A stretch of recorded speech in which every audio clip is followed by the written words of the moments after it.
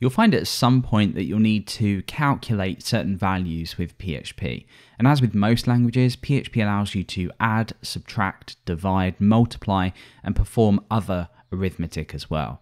Now we'll start with some basic examples, we'll move on to some more complex operators, and of course along the way we will look at some practical examples.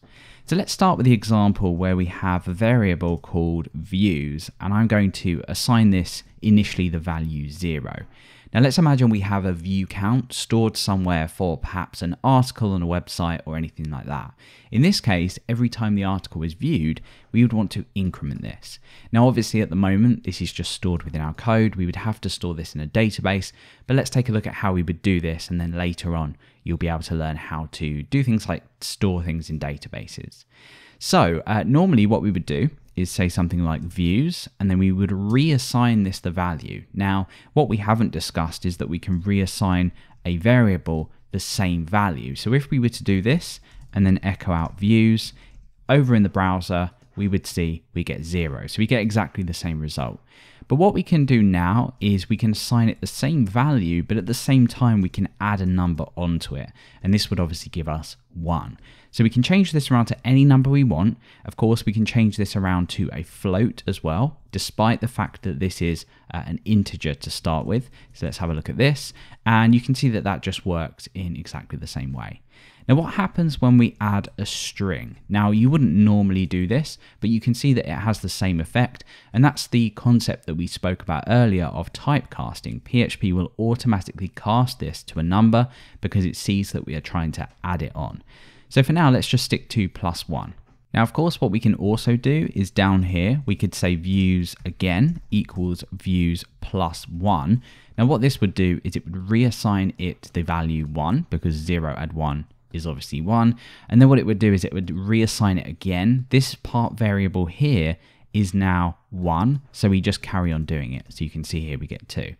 So this is pretty straightforward, but there is a slightly easier way to do this if you only wanted to add one onto a number, and that is to use plus plus. So what this will do is it will set views to views plus plus, but we don't actually need to do this. We'll have a look in a moment. Now you can see here we've got zero. Now what's happening here is we are assigning it the value, but all we really need to do here is start off with a variable, say views plus plus, and we end up with 1. So it might be a little bit confusing that we don't reassign it, but essentially all we're doing here is we're telling PHP to increment this by 1.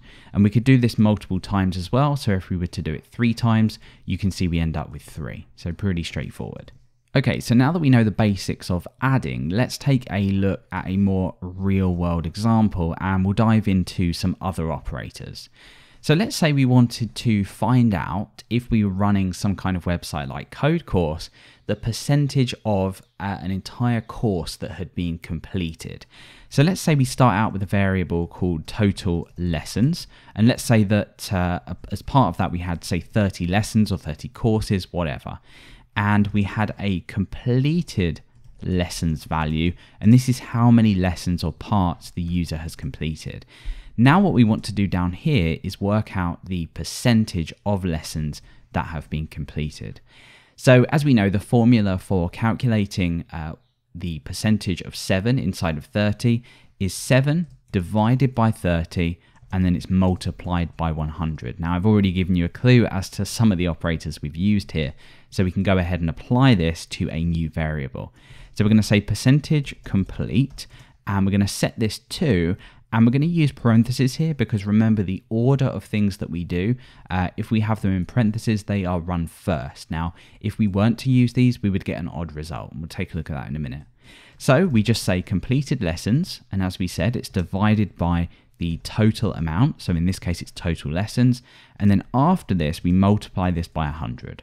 Now this might seem odd, but the asterisk symbol is for multiplying and the forward slash here is for dividing. So as long as you remember that, then you're good to go. Okay, so now what we can do is we can echo out, you've completed, and I'm using double quotes here so we can uh, place this variable directly within it.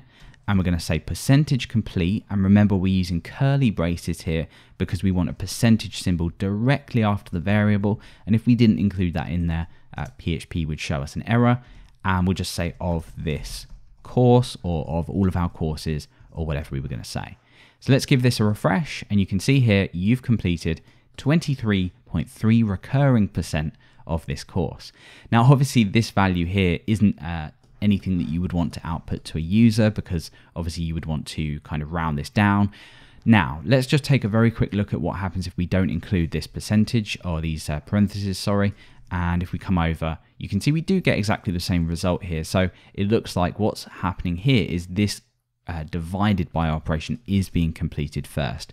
But in more advanced cases, it's usually a good idea to include parentheses. I like to do this anyway, just so I know exactly what operation is being completed first, despite the fact that PHP picked up on that for us.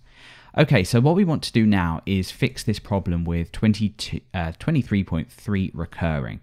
So we can do a couple of things. We can round this down or we can use a handy PHP function called number format, and I would recommend using this. So what we're going to do is we're going to wrap the value that we get back from this operation inside of that number format variable. We could create a new variable if we wanted to, uh, or we could just reassign it. So let's go ahead and reassign it, and then I'll show you how to inline this so it's a little bit tidier. So here we're going to say number format. You can see that my uh, text editor has already given me that function for me, but that's pretty much it. And then all we do is we place in the percentage complete. So what that's done is it's used number format. This would have returned to us a formatted number and then it would have reassigned it to percentage complete, which we're using down here. So we should be good to go. And there we go. So what this has done is it's removed all of the decimal places. But what we can do if you wanted to be a little bit more specific, you can pass another argument to this. Now, we haven't looked at functions yet, but we will be later on. Uh, hopefully, this isn't too confusing. So if I wanted to say, well, I want two decimal places on here, you can see that it's given me 22, uh, 23.33. If I was to do one, you can imagine we get the same result. You can explicitly pass zero through to here and we get the same result, but usually it's just a bit tidier to leave that off and you can see that we get 23%. Brilliant. So let's look at inlining this just so it's a little bit tidier. There's not really much need to create a new variable here uh, because this is a pretty simple operation. So what we would do in this case then is we don't need this line anymore. We can just go ahead and say number format and then we can start our parentheses here and end just here. So we've basically wrapped that operation we had before inside the number format function. Give that a refresh and we get exactly the same result. Okay, so we've covered division and multiplication. Subtraction is really simple. You probably have already guessed the operator for this, but let's go and look at a very basic example. So let's get rid of this one and we're going to say balance equals 500. Just imagine this is some kind of uh, bank balance and we have a cost of an item and let's say that's 25. So we know that in this case we would get 475 if we were to subtract the cost and we can go ahead and just echo the balance out and we can assign this at the same time. Remember we looked earlier that we can do that and we're going to say balance minus so it's just a hyphen here and then minus the cost like that. So here we get 475 and of course we can go ahead and get rid of the echo there and do it on a new line if we need to and we get exactly the same result. Okay, so uh, we've already covered incrementing, but let's just remind ourselves of doing something like views equals zero and then saying views plus plus and go ahead and echo views because we're also going to look at decrementing a number as well, decreasing it by one if we need to. Now we get one because we've added a uh, view count on here and the same pretty much goes for decrementing. We know that the plus symbol is to add. Now what we can do is go ahead and use minus minus or hyphen hyphen to go ahead and decrement a view. And naturally, because we started with zero, we now know that minus one, we get the value minus one. Okay, so now that we've looked at that, this brings me on to if we need to be a little bit quicker and cleaner about adding or subtracting uh, larger numbers than one. We know that by doing something like views equals zero, if we wanted to add two onto this, we would have to say views equals views plus 2. And sometimes uh, when you're programming, it's just about being a little bit quicker and a little bit cleaner. So let's say that we had some kind of point system, maybe we were building a game, and we wanted to add 10 points onto the score that the user has accumulated. Well, in this case, we would have to say points equals points and then plus 10, a little bit long to write. What we can actually do here is we can get rid of most of this and instead we can say plus equals, which is pretty much the same as what we just did here. So that's a little bit shorter and a little bit cleaner and just tends to be a little bit faster to type. So let's go ahead and echo points and you can see that we've got 10. So it's worked pretty much in the same way uh, and it's nice and quick. We can do the same for minus as well. So say if we wanted to add 10 points on and then maybe we wanted to remove two points, we know that we would end up with eight and that's exactly what we get. Okay, then, so to finish things off, we're going to look at two less frequently used but equally important operators. The first one is modulus, which will return the remainder of a number when it's divided by another. So this is uh, pretty uh, useful in some circumstances, but if you are doing calculations, then uh, this might be very useful.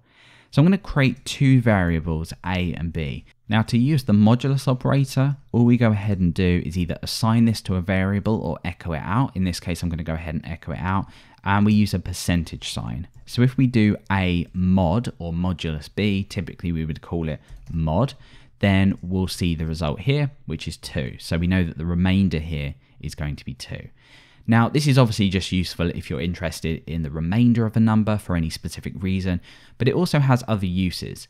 Now, let's imagine that you were building some kind of table and you wanted a different color for each row of the table within HTML. If you know HTML, you'll know that you can apply classes or styles to a table. Now we're going to look at an example that uses a loop. Don't worry, we haven't looked at loops yet, but we will be covering that uh, soon. So let's go ahead and look at this example then. Let's say we wanted to output 10 rows within a table. Now we're going to say for, now this is called a for loop, which allows us to initialize a number and then go ahead and loop, so run this block, we already know what a block is, uh, a specific amount of times under a certain condition. So the first thing that we do is we say row equals 1, so we're creating a new variable, that's not to be confused with rows, and then we're saying while the row that we are uh, looping in is less than or equal to rows, so that's the amount of rows we want to loop, and this is where everything comes together when we say rows plus plus. So just to recap what we're doing here, we will be getting onto loops, but we're incrementing the rows, or rather row variable that we've assigned here. So it starts off at one, we're incrementing it, and this is the condition that this block continues to run. So while row, which we're incrementing, is less than or equal to rows, then we uh, go ahead and run this block. All this means in this case is we're counting, or rather looping, 10 times. So to test this out, we can echo out uh, let's just echo one out and go ahead and apply a HTML break. If we go ahead and refresh, you can see we've got one, two, three, four, five, six, seven, eight, nine, and 10. So that's pretty much how we would count from 1 to 10 within a loop.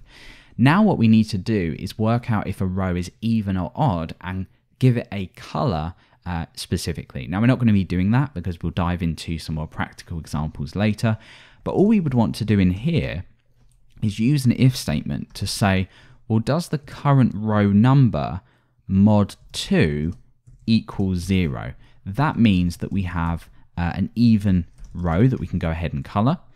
Otherwise, we're going to echo out odd. So you would apply a specific color here.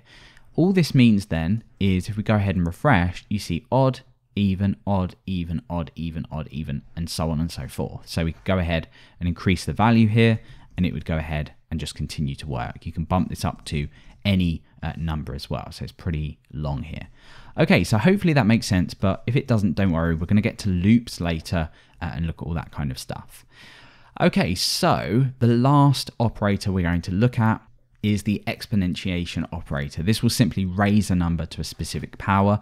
Personally, I've never found a use for this while programming, but if you are building something that does require this, then this is going to be really useful and it's worth just knowing about it anyway. So I'm going to create a variable called a, and obviously if we wanted to raise this to a power of 2, we just use 2 multiply symbols, two asterisks. So in this case, this would be 10 times 10 because we've applied 2, we're raising it to a power of 2, and obviously we get the value 100. Okay, so next we're going to just try this out with something like 9, and obviously this means 10 times 10 times 10, 9 times, and we know that this is a billion, so we end up with a billion. We've got 3, 3, and 3. So we know that that's a billion. So that is just a, an operator if you do need it, but day to day development, if you're building a product, it never really gets used. Okay, so you now have everything you need to work with arithmetic in PHP. You won't, like I said, always need to use all of this, but specifically adding, subtracting, incrementing, decrementing are really important, and you'll probably be doing that a lot.